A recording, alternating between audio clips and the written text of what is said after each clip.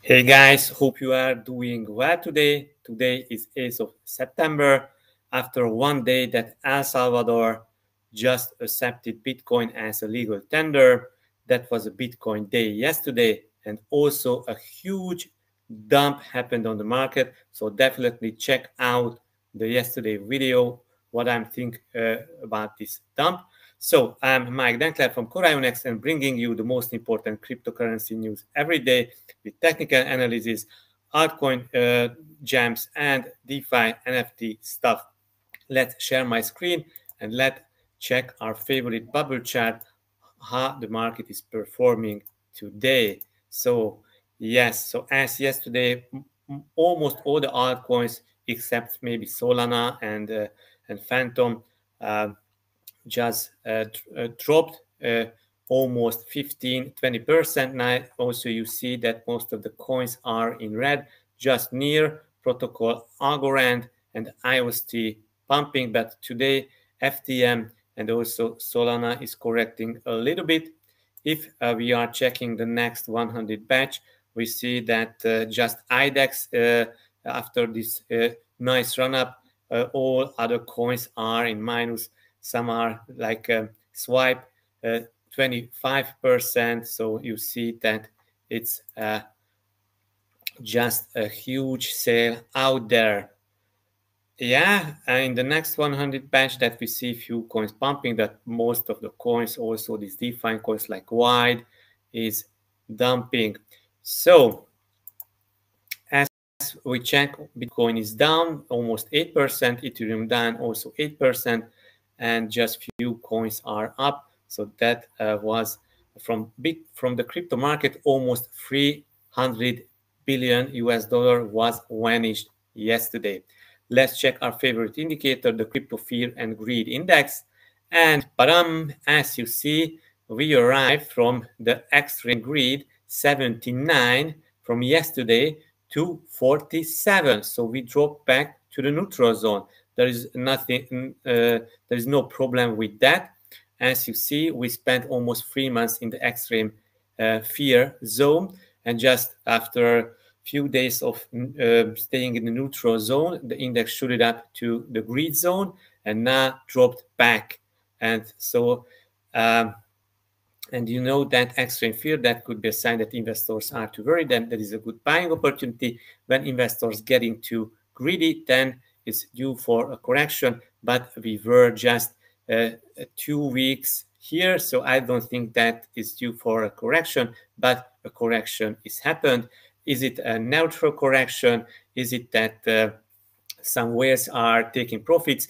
Or is it a manipulation, maybe from some uh, entities that uh, um, don't like that El Salvador accepted Bitcoin as a legal tender? Maybe IMF or World Bank or whatever, or or or opposite parties or opposite countries, or this is just ways manipulating the market because they wanna buy more. So that's the question. Let's find out together. Bitcoin dumps 7,000 to below 43,000 US dollar as 2.6 billion liquidated in minutes. Okay, so we, we see that within uh, almost this was the uh, this is a 15 minutes chart. If yeah this is an hourly chart.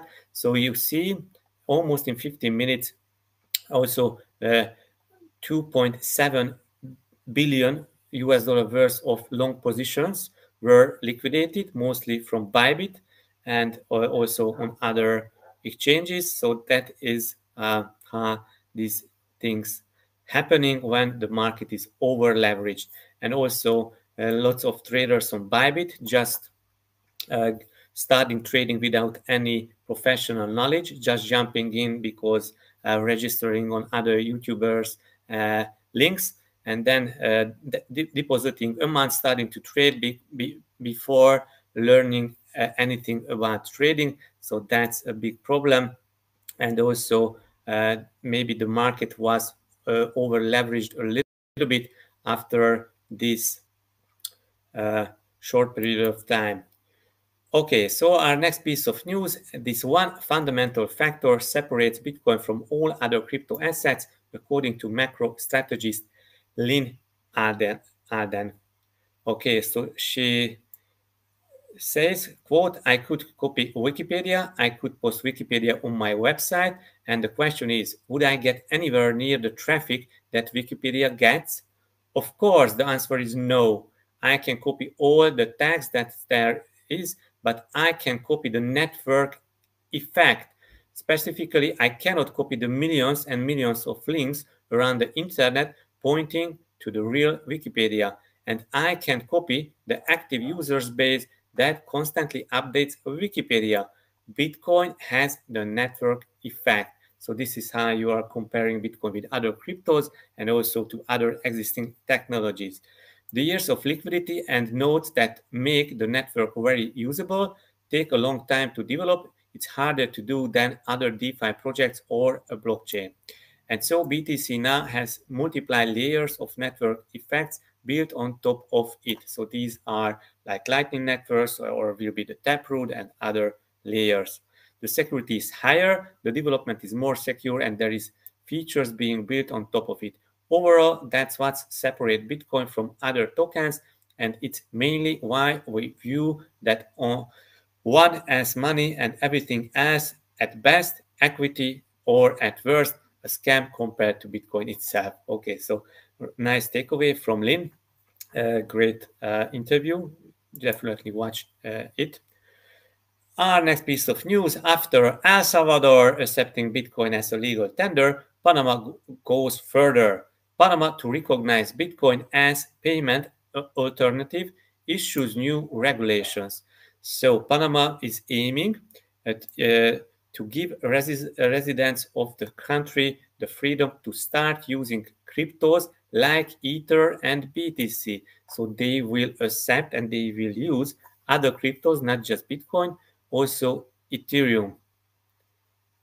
So the aim, uh, the bill aims to make pa Panama compatible with the internet, blockchain, and crypto assets. So uh, also they want uh, the economy to improve and uh, crypto be integrated in the economy.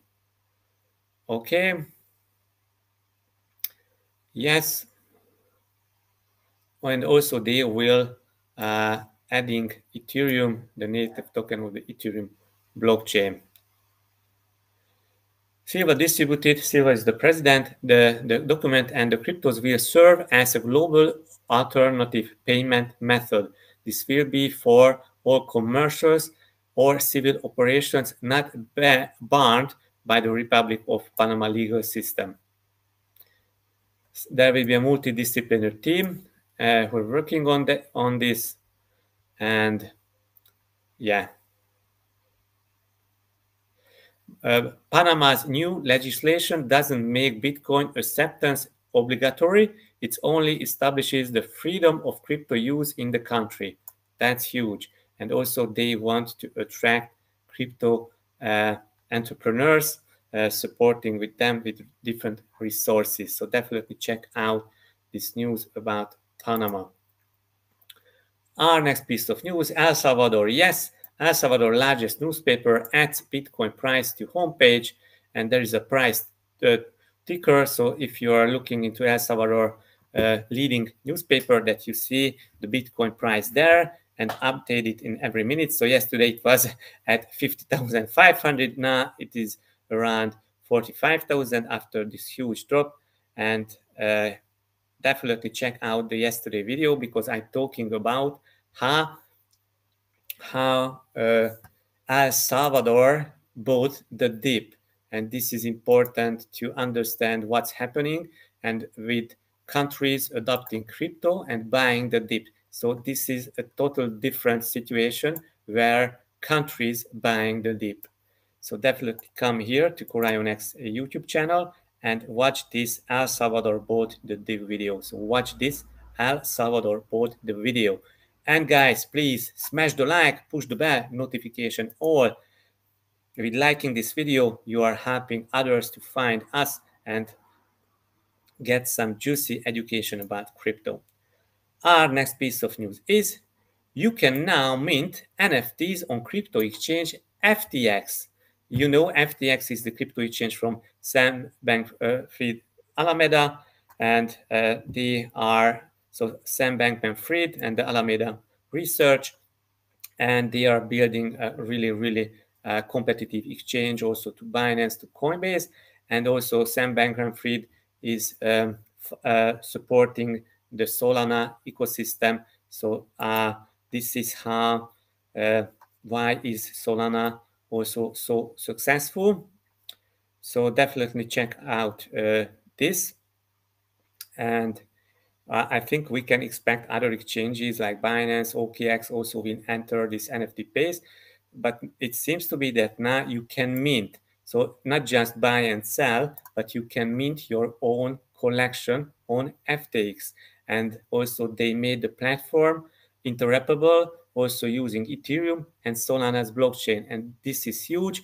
5% will be charged for the buyers and 5% for the sellers. So in total, 10% what they are charging. So yeah, maybe the fees are not so high when you want to mint on Ethereum. Uh, and at least also they have uh, millions of users. So there is a community uh, who can buy uh, these NFTs. So it's really, really major news today. Other news, former Libra director joins Polkadot Builder. Bertrand Perez is joining the Web3 Foundation as chief operating officer after resigning from the Facebook LinkedIn in July. So it's interesting because he's not the first who is resigning Libra, but maybe Libra is ready and they're just waiting for the launch and uh, people who build just living uh, to find another other building opportunities. So web, they, he's joining Web3 Foundation, a backer of Polkadot blockchain and Polkadot ecosystem. Perez joined Diem Libra, as it was known, in early 2019, and formerly he worked also uh, by PayPal. So he is really professional in this field, building disruptive technology.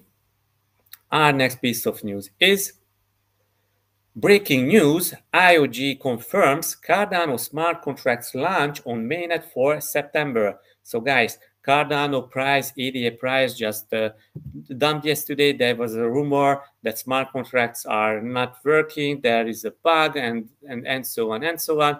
But it, uh, uh, some uh, YouTubers and investigators found out that some redditors that uh, maybe they are a, a, fan of other blockchains started this war against cardano but there was no real evidence uh, what they stated. And now it seems that uh, official the 20 uh, the, the 12th of september launch. So we take your eyes on cardano. Yesterday it touched 2 us dollar so maybe that was a good opportunity to buy the dip but now this FUD storm is over, so we'll see if Cardano can deliver or not. So you see Cardano went down to 2 US dollar, and now we are at 2.4, around 2.4. Our next piece of news, one of our major use of the news outlet today, the SEC threatens to sue Coinbase over crypto yield program it considers a security. Uh, quote from Brian Armstrong, they refuse to tell us why they think it's a security and instead uh, subpoena a bunch of records from us, said Brian Armstrong after he revealed that the SEC threatened to sue Coinbase. They refuse to tell us why they think it's a security and instead subpoena a bunch of record, uh, records from us, demand testimony from our employees, and then tell us they will be suing us if we proceed to launch with zero explanation as to why. So you can check out this on also on Twitter. They have only told us that they are assessing our Lend product through the prism of decades-old Supreme Court cases called Howey and Reves. The SEC won't share the assessment itself, only the fact that they have done it. So it's really insane. So SEC is applying this, um, the United States Securities and Exchange Commission, yeah, this is the name, and they are uh, uh they are uh, working and applying the uh, U.S. security law that is from listen 1927. So almost 100 years old. There was no internet, there was no blockchain, there was no crypto. How, how, uh, how in the hell uh, some want to make comply a technology that uh, hasn't uh, existed in that time. So I, I, am really shocked on this. And also I know that there are other companies in the US also providing this. So what uh, uh, what they um, figured out that they don't like that uh, Coinbase is offering four percent on the USDC uh, deposits, uh, but uh, you know there are other other compliant companies in the US regulated companies that they are offering even higher percentage to the clients. Same news as SEC lawsuit looms, Coinbase CEO describes the agency's behavior as sketchy. So maybe it's um, just a software for this. Guys, so this is quite interesting. Somebody thought that uh, because this dropped the Bitcoin price and the crypto market cap, but I don't think so. Uh, this is uh, just a, a news, so not because this dropped and that was the news yesterday to celebrate that El Salvador made Bitcoin a legal tender and airdropping to every El Salvador citizens 30 US dollar. There was this movement that thousands of people plan to buy 30 US dollar of Bitcoin to celebrate El Salvador. So if you did that, that appreciate and and well done. If not, let's go let's go and buy at least 30 US dollar worth of Bitcoin. And it's really cheap. It's much cheaper than, than yesterday. So you should definitely go and join this movement. So let's check the Bitcoin price. As you see, we have this huge daily candle. It was a drop almost from 53,000, the low to 42,500, almost 19% drop, and then bounced back. And now we are at 47,000, a little bit consolidating. And as you see on the four hourly, and let's check the hourly. So now a, a small spike in the Bitcoin price, but uh, maybe the dump can continue uh, one reason that uh, there was a, a, lot of over leverage longs, uh, especially on Bybit, and there was a long squeeze here. They were liquidated, and that was a, a chain effect when uh, the sell um, sell orders uh, and stop loss orders, liquidation orders, sell orders uh, got activated. so and and also the other that maybe IMF did this or some IMF friendly uh, Bitcoin holder did this, just show to El Salvador that uh, uh, they are not happy that uh, they they adopted Bitcoin. And the third mm, third uh, scenario that maybe whales just manipulating the market and whales wanting to shake out all, all your bitcoins and buying up all your bitcoins uh, with threatening people and uh, uh, and with this dump. So as you see, also we talked about ADA. ADA went down to two US dollar, now back to 2.4 US dollar, and all other coins dumped almost 20 or even more percentage. But guys, as I believe that we are in the bull market, but you know, nothing in this channel can be considered as financial advice. So do your own research it's just for educational purposes. But I think we are still in the bull market. And as you see, uh, Ethereum also dropped to 3,000. So guys, this is so cheap buying Ethereum at 3,000. Now we are back to 3,400. So I think uh, then the market will recover and also the money will uh, uh flooding back uh, on the market. FTM is doing great. I think maybe bottoming out here, so that can mm, give a good buying opportunity because FTM is is really going uh, going hard in the developments, and also FTT, the token of the FTX exchange, is doing well, and Solana is correcting. Also, Solana is doing this triangle, almost the same chart like FTM. So I think um, buying up some Solana around 150, that would make sense. Yesterday, it just dipped at 131. So guys, this is some pure and simple technical analysis.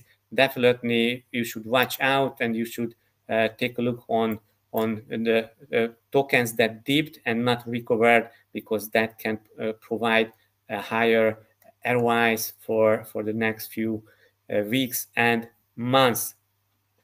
So uh, please join the CorionX uh,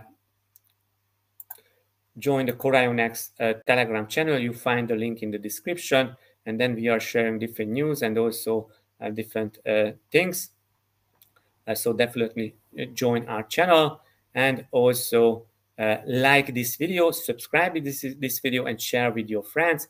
And also you should look out for our DeFi apps, both on Binance Smart Chain and also on Ethereum. You can come and uh, provide liquidity and earn 233, 420, and also 330 uh, percent APRs on our farm, depending on in which pairs pairs uh, do you provide liquidity and staking your liquidity pool tokens. So that's it for today. Hope you enjoyed. Hope you find it useful. Please smash the like, subscribe, push the bell notification, and see you tomorrow. Don't worry, the market is manipulated. It's the entire crypto market is small. The manipulation is going on, but as you see back and you see back for let's say, let's check this uh, market cap. So this is the market cap chart.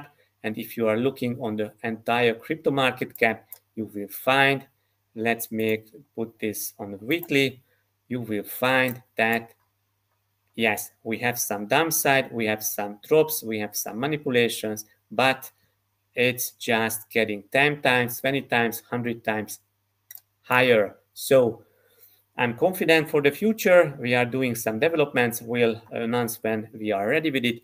So uh, see you tomorrow. Bye bye